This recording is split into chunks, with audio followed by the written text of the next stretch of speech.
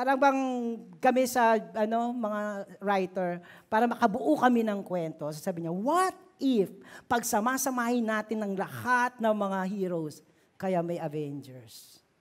Tapos, what if pag awa-awayin natin sila, kaya may Civil War. What is patayin natin sila, kaya may Endgame. Now, what if naman sa inyo?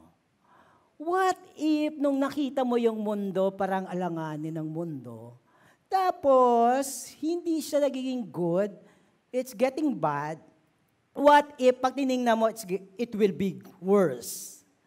What if kung yung anak mo ay nandoon, either naapektuhan o sumasakay sa hindi magandang takbo ng panahon at takbo ng mundo. O kung tat, hindi ka pa tatay, anak ka pa, what if pagdating ng panahon, eh ganyan yung sitwasyon. At alam mo, what if kapag ikaw ay may edad na, unstable yung panahon, at ito yung nangyayari sa anak mo, tapos ikaw, katulad ko, patanda na. O tumatanda. Or your, your condition is unstable ngayon.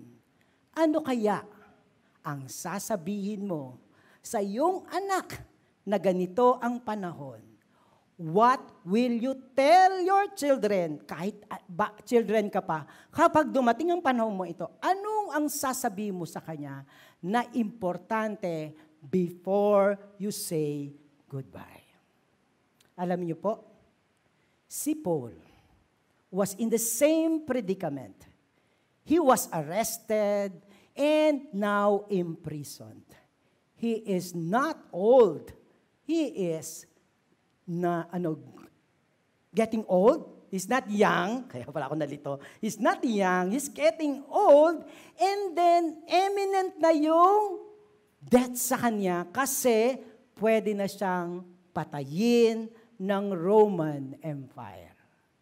What ayan yung panahon niya. Ayon mismo sa kanyang sulat is, For I am already being poured out as a drink offering, and the time of my departure has come. So ito, totoong nangyari kay Paul. At ano kaya? Pag tiningnan niya yung panahon na ang tinuturing niyang mga anak ay ang mga Kristiyano sa mga churches, at meron din siyang talagang parang beloved son si Timothy. Pag tiningnan niya, sabi niya, tingnan mo, ito ang panahon. And as we read this, pakicheck lang kung ganito din ang panahon ngayon. Anong sabi diyan? But understand this, that in the last days, there will come time of difficulty. For people will be lovers of self lovers of money, proud, arrogant, abusive, disobedient to their parents, disobedient to their parents, disobedient to their parents, ungrateful, unholy, heartless, unpleasable, slanderous, without self-control, brutal, not loving. Parang digital lang nung panahon ngayon. No? At treacherous, reckless, swollen with conceit, lovers of pleasure rather than lovers of God, having the appearance of godliness but denying its power, always learning and never able to arrive at a knowledge of the truth. Verse 8, men, men also oppose the truth, men corrupted in mind and disqualified regarding the faith.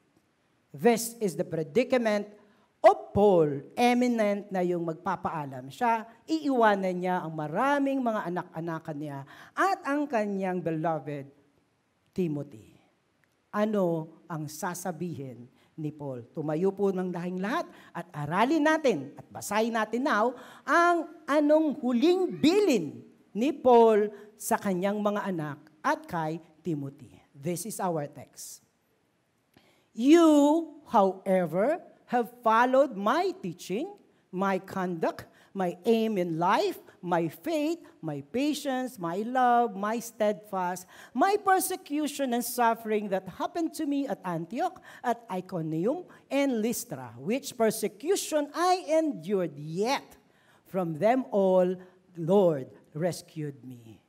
But as for you, Timothy, but as for you, children, continue in what you have learned and have firmly believed, knowing from whom you have learned it, and how from childhood you have been acquainted with the sacred writings which are able to make you wise for salvation through faith in Jesus Christ. Let's pray. Heavenly Father, we thank you so much, God. Lord, we are here very important, very crucial in this time. Very crucial. It's all about us and our children, our pa- being parents, God. Very crucial yung matututunan namin tonight. Lord, ikaw po ang magbigay sa amin ng kaliwanagan. At gaya ng sinasabi namin, may kapangyarihan sa salita at sa pangalan ng Diyos. Ito po ang aming tatanggapin sa hapong ito sa pangalan ni Jesus. Amen and amen. Be seated po. Nga pala po, good afternoon those who are with us, worshiping with the Lord, with us, the worship sa God through online. Magandang hapon po. Diyan din po kayo, kung kasama niyo yung mga anak niyo o kaya kasama mo ang pe- parents mo nandiyan din, diyan kayo sa ano sa inyong sala and let's read and study the word for this Sunday. Ano po ang ating topic is discipleship at home. Sa kaya, kaya paborito ko to kasi papunta lahat tayo pa uwi sa ating mga bahay. At sino ang pinaka people of the world, ano, favorite people nyo? Nasaan? Nasa loob ng inyong tahanan ng inyong pamilya. Alam nyo, when we see the predicament ni Paul, meron siyang bagay na pinaninindigan and he is so proud of this and he is so uh, sure of this. Kaya ang sabi ko dito, Paul, the point one is, Paul pointed to Timothy, yung kanyang bilin, the origin of what? Formidable truth, their never changing values, and their enduring faith. Ito siya, dito kumpiyansa si Paul sa kanyang sinasabi kay Timothy at sinasabi din sa atin. Saan nagmula itong kumpiyansang ito at anong klase at ano itong katotohanan, anong itong values at ano itong pananampalatayang ito, anong sabi niya sa letter niya, Therefore, do not be ashamed of the testimony of about the Lord. The formidable truth for Paul na sinasabi niya kay Timothy, sinabi niya sa maraming mga simbahan, at sinasabi ko din sa inyo ngayon, it is about the testimony of God. No other truth can be as absolute and powerful than the truth about God. Ay yun ang sinabi niya, nang galing si Paul sa katotohanan na ang salita ng Diyos ay ang katotohanan. Ang testimonya ng Diyos ay katotohanan against all other testimony. Sabi niya pa rin dito, which God gave us in Christ before the ages began, and which now has been manifested through the appearing of our Lord Jesus Christ. Yung formidable truth niya na hindi natitinag ay sagrado. Sagrado because galing ang katotohanan sa Diyos. Sagrado because it talks about God. And anong sabi niya later on, diyan makikita natin, sa kanya, sabi, oh sorry po. And therefore, do not be ashamed. Yep. Because, ang sabi niya rito, before the ages, sagrado galing sa Diyos, kailan nagsamula yung katotohanan? Bago pa ang lahat ng mundo. Bago ang lahat ng mga sinabi ng mundo, ang filosofiya ng mundo, even before the ages, there is already the truth and we are all blessed kasi alam natin, narinig natin ang katotohanan. So this is the formidable truth.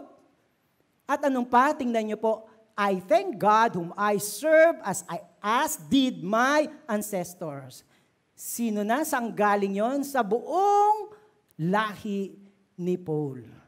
So from the age, from eternity to the kanunuan ni Paul, at hindi lang yon sabi sa 6, I am reminded of your sincere faith, a faith that dwells first in your grandmother Louise and your mother Eunice, and now I am sure dwells in you, from the ancestor to the grandlola and to the nanay.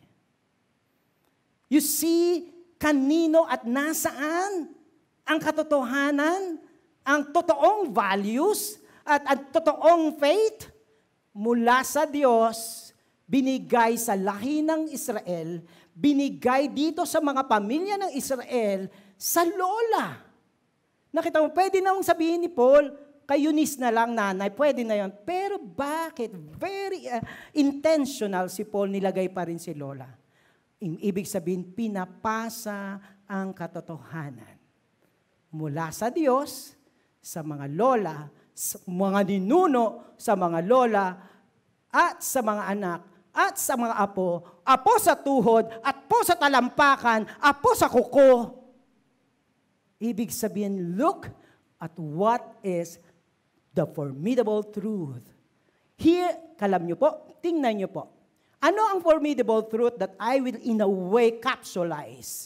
Ilagay natin. Ano ba talaga ang katotohanan? Saan nanggagaling ang katotohanan? Ano ang uh, core of truth? Anong sabi ng Lord sa Deuteronomy 6? And this is when the Lord and Moses declared to the uh, families of Israel nung nasakop na nila yung promised land, Nung nasakop na, anong unang pinakita ng Diyos through Moses? Anong sabi niya? Hear, O Israel, the Lord our God, the Lord is one. This is the formidable truth. Baka hindi mo pa alam. Baka hindi pa alam ng katabi mo. Baka hindi pa alam ng asawa mo. Baka hindi pa alam ng anak mo. But I'm telling you this now. Hear, O family, Hear, O Father. Hear, O children. Hear, O parents, grandmothers, aunties. The Lord our God, the Lord is one. Alam niyo po, ang tawag dito, that is the central truth. All other truths naka-encompass dito. Pag sinisira na may ipapang Diyos, hindi na totoo yun. Pag sinasabing maraming Diyos, hindi na totoo yun. This is the central truth and all other truth that can survive, that is important, na dapat nating malaman, nakapa, nakatayo dito na iisa lang ang ating Diyos. Here, O victory may kawayan. The Lord is one. The Lord is our God. Then next, doon sa verse, verse 5, You shall love the Lord your God with all your heart, and with all your soul, and with all your might. Be, basing on this truth, anong reaction mo? Love Him. Is the only God. Is the loving God. Is the love that created you, that gave you life. Kaya ka nakaupo dyan because of the one true God. What do you respond to this truth? Love the Lord. Hindi lang sa bibig, with all your heart, with all your mind, with all of your might. Ang sabi dito, you shall love the Lord. This is the reactionary or the response of the people. Should all the people respond to the central truth that is supplementing the uh, absolute truth. At uh, pagkatapos yan, eto na. Anong sabi? And please read especially the parents, go.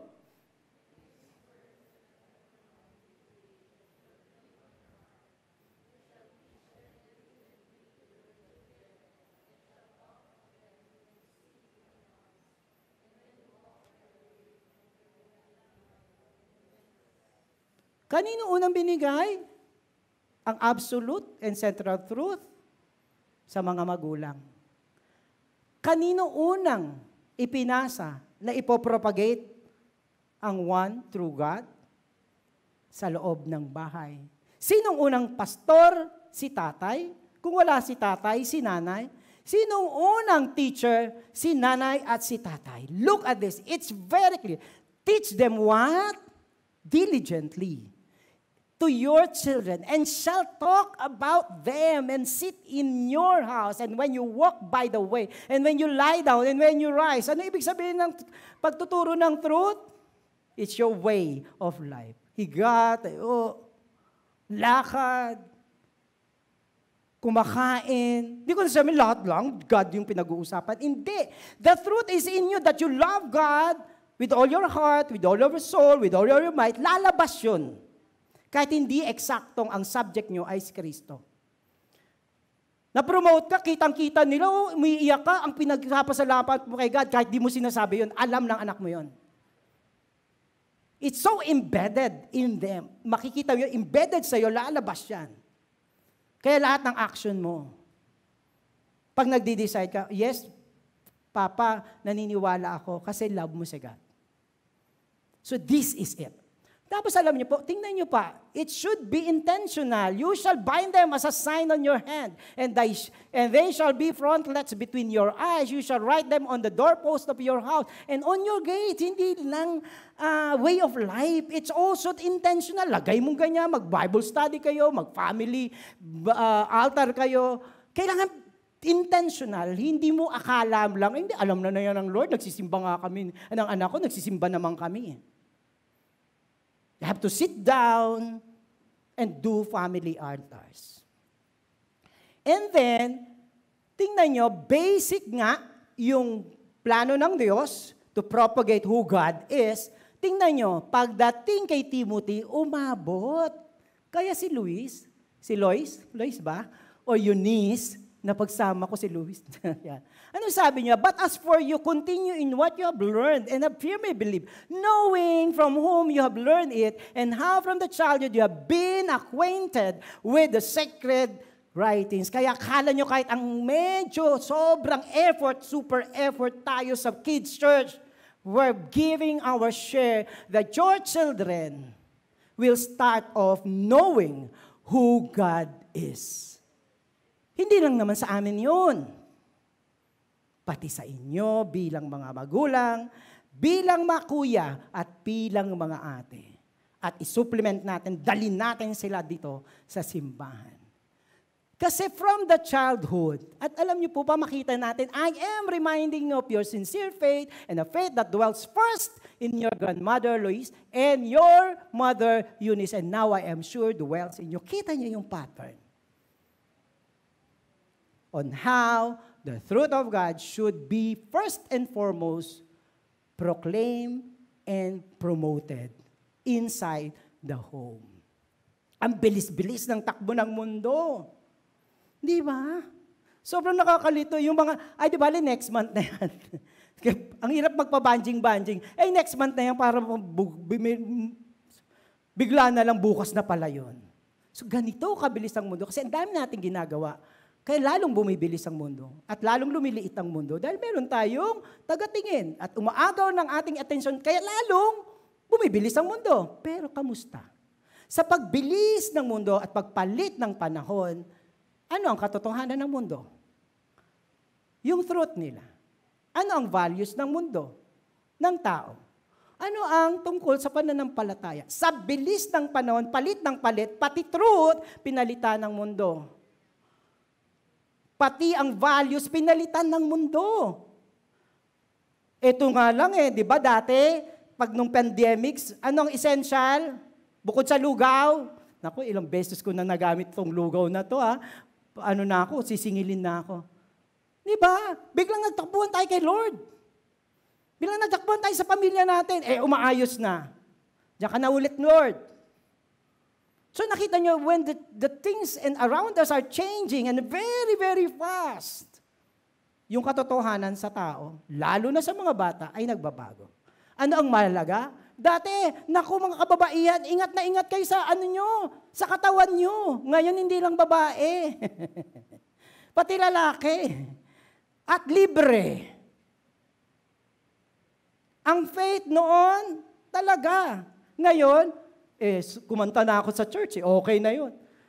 There is so much changes in what kind of faith that we have, all because nakikisabay ang truth, ang values, at ang faith sa takbo ng mundo. Let me give this statement.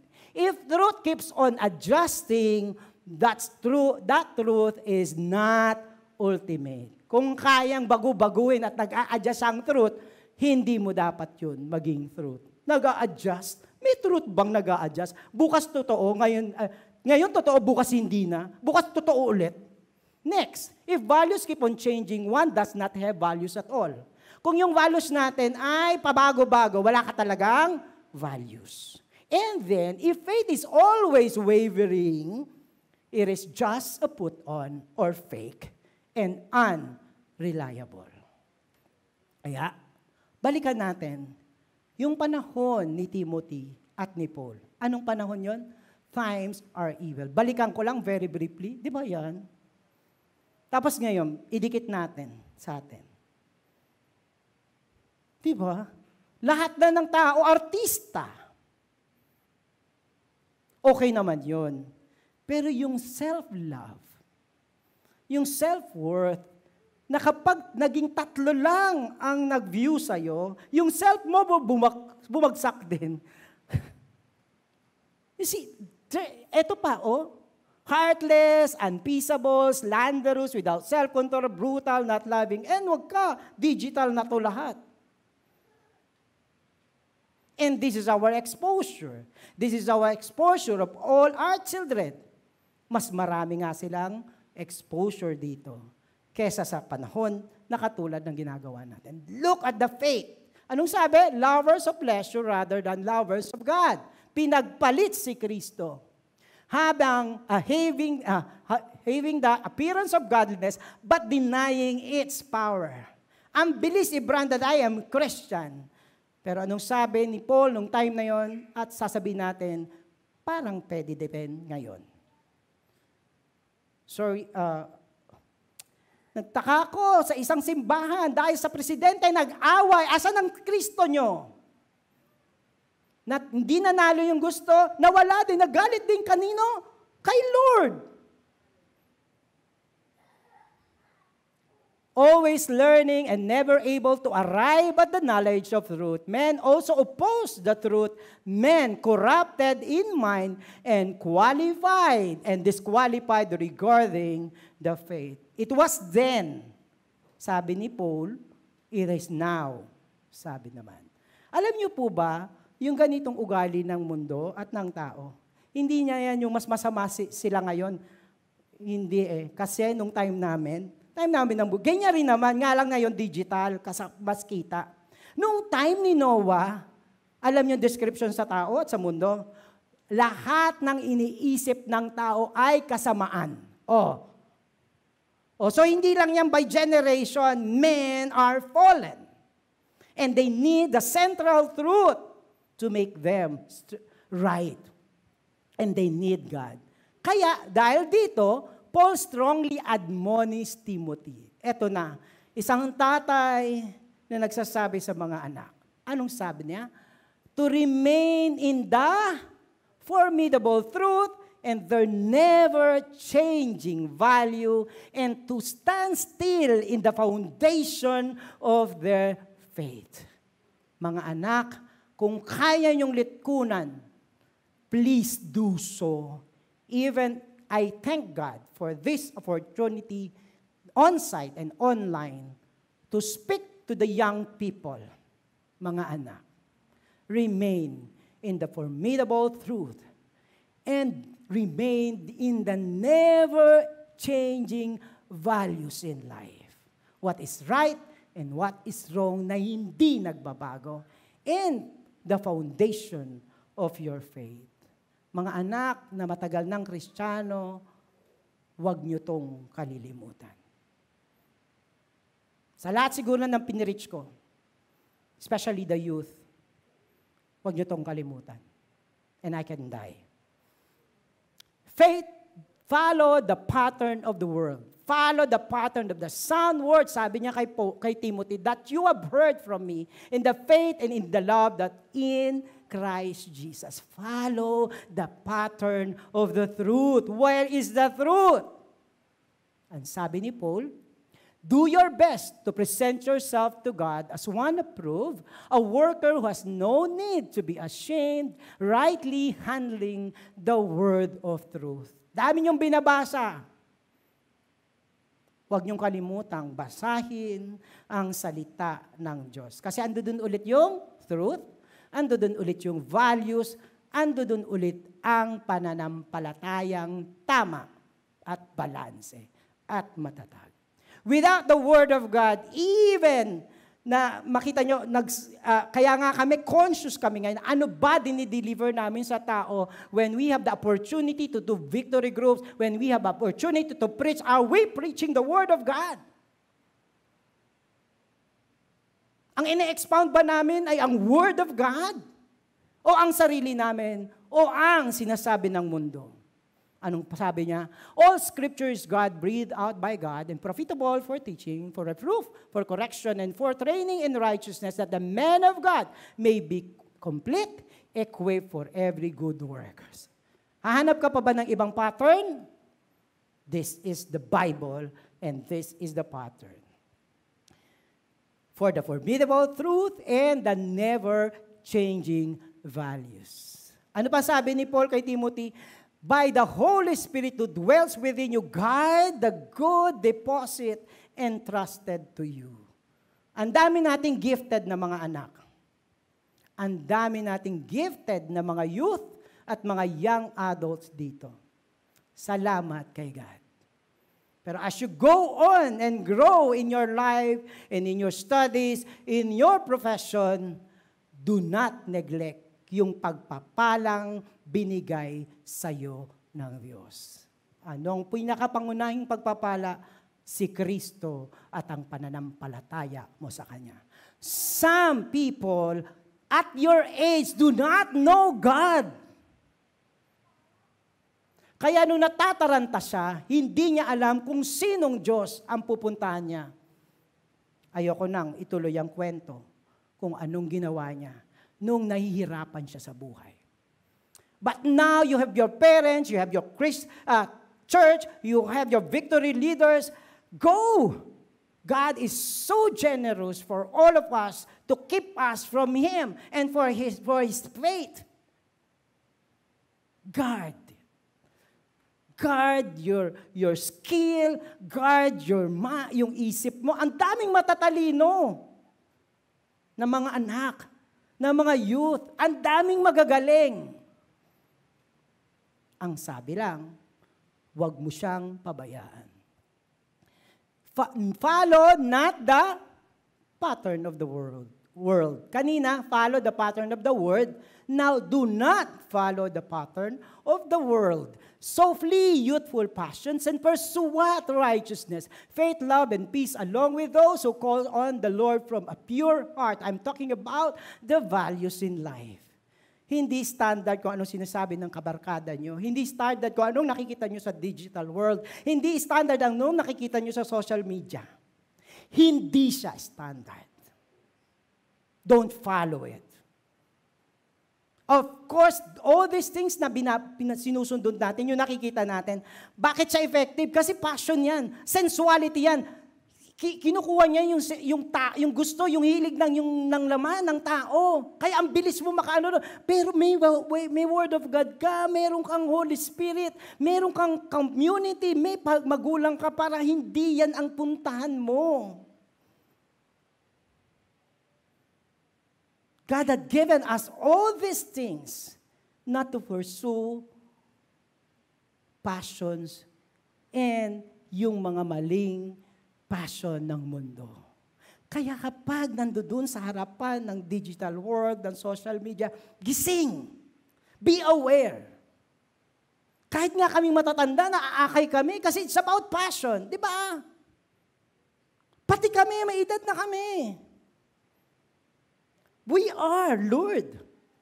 But, kung ano meron ka, si Kristo, ang salita ng Diyos, lahat to ipanlaban mo kaysa matangay ka. At umagos ka na doon. Kung nakita mo nagubad siya, huwag kang magubad, please. In fact, huwag ka pumunta doon. Flee from youthful fashions and pursue righteousness. Pursue faith. Pursue love. Thank you for being here kasi you're pursuing God and grace. Share suffer for Christ. Share in suffering as a good soldier of Christ. No soldier gets entangled in civilian pursuit since his aim is to what? To please the one who enlisted him. Ang hirap sa panahon ngayon to, ayaw ng ma, ano, ma, ma, mahirapan ng mga estudyante. Pag nahirapan, hmm, ayaw na, di ba? Pag nahirapan, anxious na. O of course, may totoong anxiety ah hindi ko sinasabi. Pero ang bilis ngayon ng mga bata. Ayun, na, na, na. Di ba? Ang bilis. Ayoko magkumpara ng henerasyon. Pero, pag mahirap ka, o sige, yung hirap na lang. Lumalakad kami, duguan na yung tuhod mo, tuloy ka pa rin. Gumagapang ka, tumutuloy ka pa rin. Mahirap kami. Sanay kami sa sufferings. Pero ngayon, ayoko maging sarcastic or negative in the manner that children are not, hindi na prone ng sufferings. Iiyak ang bata, agawin mo ang cellphone what sa kanya. At hindi mo makakaya kasi babalik po. Cellphone lang yun. Pero hindi mo kayang umiyak ang anak mo. Kasi hindi natin sila tinuturoan to suffer for Christ. That in this life, it's part to suffer. Because the world is wicked. The world is tiring. Tapos ayaw mo siya, pag nilabas, pinalabas mo yan sa ano? Sa mundo yan, mahirapan din yan. Turuan mo na mahirapan ngayon. Di ko naman sinsabing parusahan mo. Alam nyo, ang takbo, yung, yung mga, ngayon yung bagong empleyo ng mga bata. Isang buwan pa lang tatlo na ang job. Eh, ang hirap doon, lipat. Ang hirap doon, lipat. Ang bilis ng mobility ng profesyon ngayon, especially with the kids, kasi nga hindi sila sanay. Anong, anong tawag sa work? W-O-R-K. Work yun, kaya mahirap. Eh, hindi yun laro. Suffer. Suffer for your health. Suffer for your, uh, ano, for your family. Tiis ganda. Ti, tiis ganda, okay, eh, di ba? Tiis hang okay eh. Titiisin mo talaga. Pero tiis para sa kabagain ng, ng magulang. Tiis para hindi gumastos ang magulang. Magtiis naman po tayo. Tatay na tatay ako ata ngayon ha.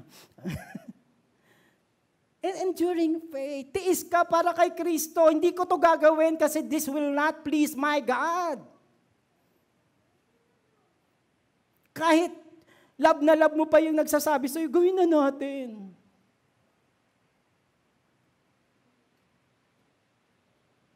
Ulitin ko lang.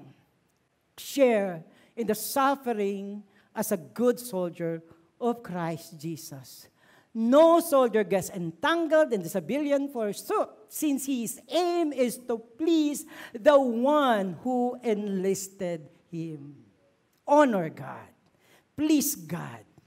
Kasi God is honoring you and blessing you and blessing your family and blessing your father. Kahit hirap na hirap na yung tatay mo, sige pa rin. Kahit hirap na hirap na yung nanay mo, sige pa rin. Bless them as well. You, however, have followed my persecution, my sufferings that happened to me at Antioch and Iconium and Lystra, which persecution I endured, yet them From them all, the Lord rescued me. Balik tayo kay Paul. Ano sabi ni Paul? Nakita mo kung gaano ako naghirap. Si Paul with Timothy, hirap na, nakita niya, kinulong, binugbog, ganyan. Alam yun ni Timothy. Pero ang alam din ni Timothy, sino nagligtas sa kanya? Kay Paul, the Lord rescued me. Nak, huwag kayong matakot sa hirap. Of course, I'm not talking about finances. There are times in our life, kaya para magiging formidable yung, yung character natin. Hindi konting ganyan,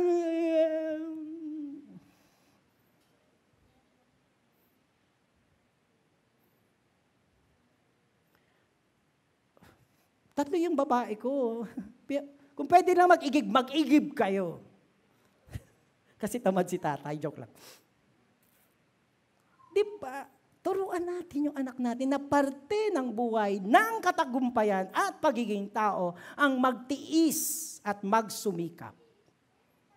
Bukod dyan, mag-suffer tayo kay God, katulad dito, dahil siya ay Paul heartily encouraged Timothy to continue proclaiming the formidable truth and the never changing values and enduring faith ngayon naman, sabi ni Paul, tapos na ako. Ikaw naman, ihayag mo rin dito.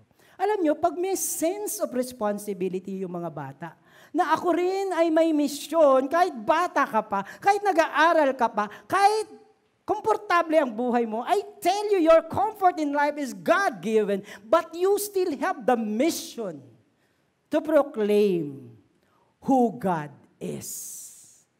Alam nyo kaya mahina ang tuhod kasi walang siyang naiisip sa buhay niya ng responsibilidad. So bigyan ko kayo kung wala kayo. You are responsible to say yes to God, to go make disciples of all nations.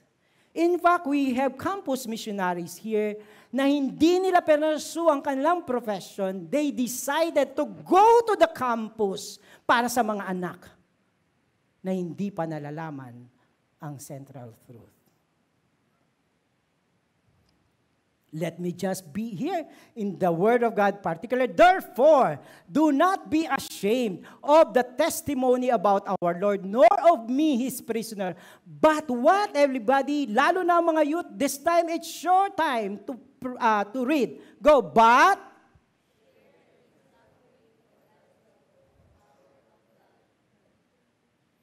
Where is the gospel in you? Where is the gospel in your heart?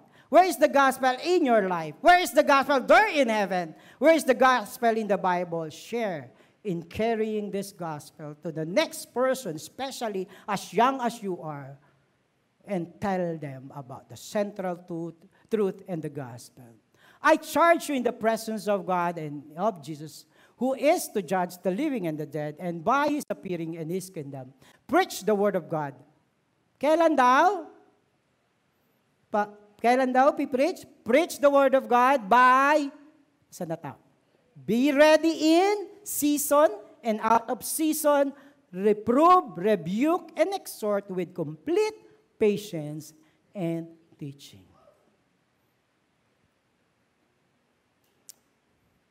Then, ano pa dito?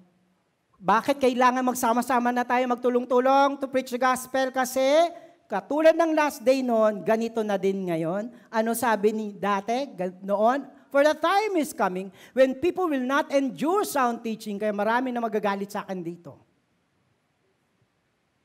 Baka sa susunod, di na ako pakinggan sa online. Kasi ayaw na ng sound teaching. But having itchy ears that they will accumulate for themselves teachers to suit their own passion. Doon na lang ako doon yung kiliti ko, binibigay niya. Yung gusto kong marinig, binibigay niya. Kung hindi mo to gusto, makinig ka pa rin. And will turn away from listening to the truth and wander off into myths. Dito na lang ako. Eto na lang, masaya kami dito. But that's not formidable truth, and that will not take you to heaven. As for you, always be sober-minded, enduring suffering. Do, not, do the work of an evangelist. Fulfill your ministry. Let me end with my testimony. Just few days ago, I, we celebrated the 18th birthday ng aking bunso. So nakagraduate ako sa dalawa. Then meron ka ng bunso. It's so very important when we celebrated simply, kami-kami lang. Bakit po? Kasi aaminin ko sa inyo, kung nahirapan kayo sa mga anak nyo, nahirapan din ako for a while at sana wag na maulit sa aking anak. Prior to the to the pandemic, mga 2018, 19, ano na siya, adolescent na siya. Naramdaman namin na nalagi na siya sa kwarto, at laging nagsasara ng pinto. At syempre, duk-duk dang duk-duk. Ah, sabi oh, bakit ka nasara ng pinto? Bakit ka nagtatago? Pasungit si tatay, no? Tapos, hindi naman totally, kasi kaya mo din naman pasukin siya. So, sabi natin 70 to 80, ang pinroblema ng tatay, major problem sa akin pag anak ko at pamilya ko. Kaya major problem ko. Yung, yung hindi na kami masyadong nag-communicate. 20% na lang. Kasi pag kinausap namin, hindi, wala na yung dating nung 13. Sana 13 ka na lang. Pero hindi na. Bumabanda siya sa ganun. May sarili siyang mundo. Tapos, naging problema ko yun. At naging problema din ng kanyang ate. So, we are not getting along well with her. Tapos, ang isa pang bagay, ang tinatanong ko, eh, papunta na siya sa maturity, kamusta kaya yung relationship niya at pagkakilala kay God? Alam niyo po po, pipilitin namin umattend dito, tapos hindi siya, minsan natutulog doon sa office. Sige, Lord, ayaw niya, no, hindi, siya sa, hindi siya active. Pinaalam ko niya sa kanya to. Hindi ko, anak, i-testify kita. Uh, hindi siya active sa youth, hindi siya active sa victory group. So, sirko-sirko kami. Salamat, dumating ang pandemic. Sorry. Kasi nung pandemic, nakasarado kami sa bahay. Hindi siya pwedeng magsara. And this time sa pandemic, we have the opportune time, especially her Ate Dana, pinasok ang mundo ni Luan.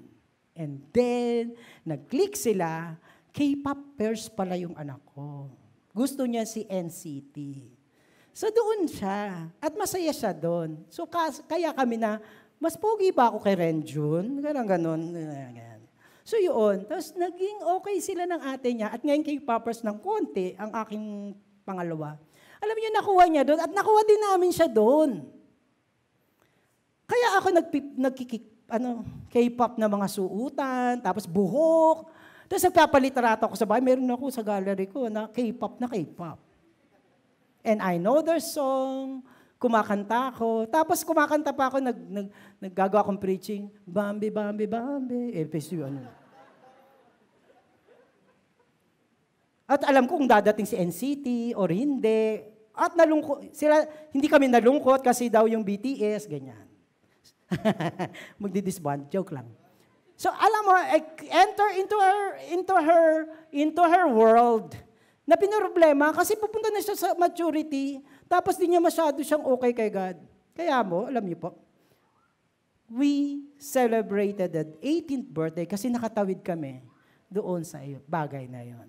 Alam niyo po, those people are there, yung mga staff and the kuyas and the ates are instrument of God's blessing. Nabakot kami ay na, nabalik siya sa amin at di naman sobrang siyang nagano. Na, wala na yung masyado kong problema about her faith. At alam niyo po ba, Sabado pa lang, nasa ministry na siya. And people are coming to me, sabi niya, grabe po si Luan. Ganito po, sabi niya sa, sa, sa kids church, mga ganyan, ganyan. So elated ka kasi sabi ko, Lord, umukay naman ako dung time ng dalawa kong anak. Parang dito. And I lost all the ministry if I lost my bunso. Kaya ang saya namin dyan. Ako ang saya ko. Kaya nung tinitestify ko sa kanya, salamat. Kasi nung nag-18 siya, alam ko, alam niya ang formidable truth. Ang unchanging values ang enduring faith. Alam ko, gusto ko rin sana dumating ang panahon, tayong mga tatay, na ganito din ang sasabihin natin, katulad ng sinabi ni Paul. You, however, have followed my teaching, my conduct, my aim in life, my faith, my patience, my love, my steadfast my persecution and sufferings. Tatay ka, kausap mo yung mga anak mo. Sinasabi, alam mo yung puso ko, alam mo yung naging buhay ko, mahirap. Ang sarap lang nun, you can be confident na alam ng anak mo kung paano ka nabuhay nung time na yun. And it's time to say goodbye. Alam mo, yung sinulat mo, sa puso ng iyong mga anak. At sabi nga ni Paul, next slide na lang po. For I am ready being poured out as a drink offering, and the time of my departure has come. Sarap lang sabihin, katulad ni Paul, I have fought the good fight. I have finished the race. I have kept the faith. Henceforth, there's laid for me the crown of righteousness, which the Lord, the righteous judge, will award to me on the day. And not only to me, but also to all the fathers here, to all the mothers here, and to all the would be fathers and mothers and leaders here, all who have loved his appearing. Let's all stand up. May I ask, I ask the music team to be with me here.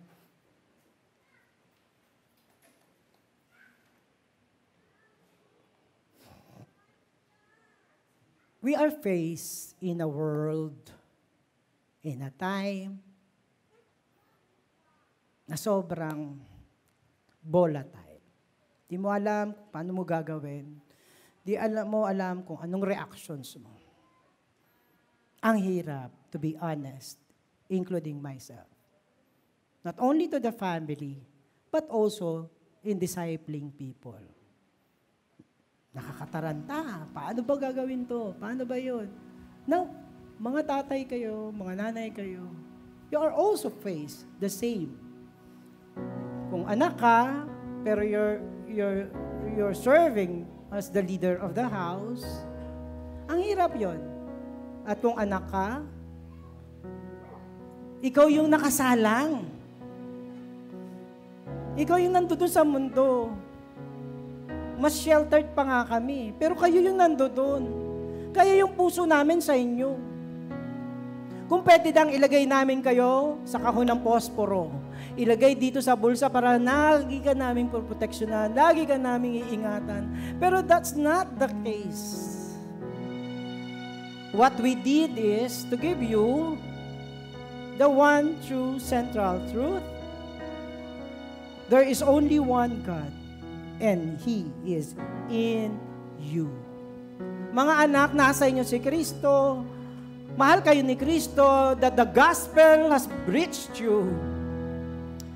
Sa harapan ng Diyos, wala siyang inuuri kung okay ka o hindi ka okay sa mga oras na ito. Ang sabi lang ng Diyos, binubulong niya sa iyo, nasa iyo ako anak. Kailanman di kita iniwan. At ang banal kong dugo ay sapat upang linisin ka. At ang pangako ko ng banal na spirito ay nasa iyo upang bigyan ka ng kapangyarihan sa panahon ng kakulangan at kahinaan. Tayong mga magulang naman. Huwag kang umatras. Tumakbo ka muna kay Kristo. Doon ka muna, dahil kaya ako, pastor, hindi ko kayang harapin ng nag-iisa. Maliban na ang Diyos ang sasa akin at sasa iyo. Sabay-sabay tayong lumapit sa Panginoon.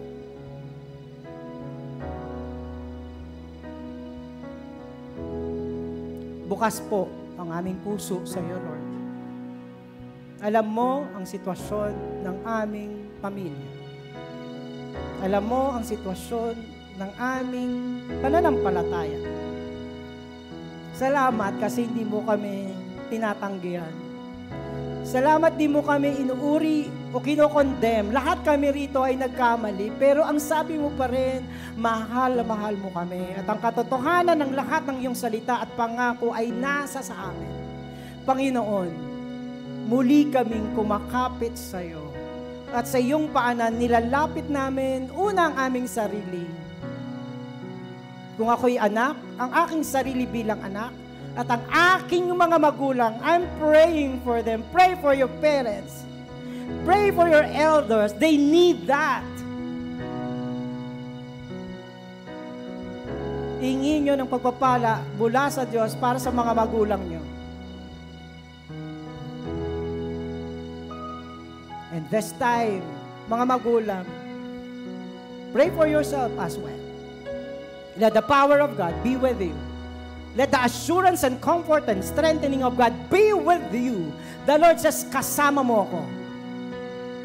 Kanina when Ben stand, tumayo siya dito, there is power in the name of the Lord. It is indeed true. Naririnig ko yun. Sabi niya, I am going to deliver people, this, uh, these families, this afternoon. And this is the time to really go back to God and ask for that power in your family, both the parents the children, and the elders and the young. Let us go to God. Heavenly Father, I pray and thank you, God, at this time, Lord. Your Spirit is among us. And your Spirit is continuously delivering us, continuously strengthening us, fill in the gap. All the weaknesses is done, Lord, by your power and by your word. Receive the Holy Spirit's power. In the name of the Father and of the Son and of the Holy Spirit, we say Amen and Amen. Pagkatabi mo yung pamilya mo dyan, yakapin mo. God is blessing your family. Go!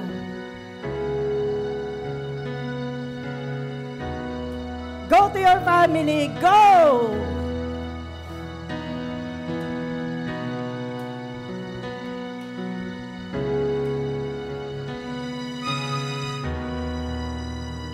And now, let's glorify and thank the great God.